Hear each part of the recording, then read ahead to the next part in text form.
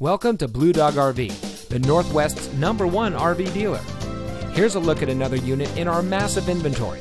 This beautiful travel trailer comes equipped with U-shaped dinette, sofa slide out, double kitchen sink, queen size bed, rear bath, single slide, three burner range, two entrances, slide out kitchen, living area sofa, double wardrobes. Bathroom has private entrance to the outside. Sleeps up to four people. At Blue Dog RV, treating customers like family and offering the best deals around has always been our priority.